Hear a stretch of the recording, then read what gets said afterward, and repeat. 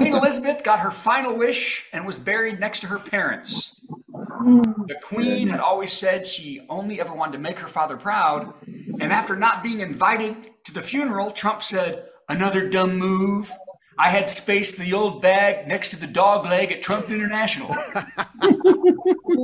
Cheap rent, too. Cheap rent. okay.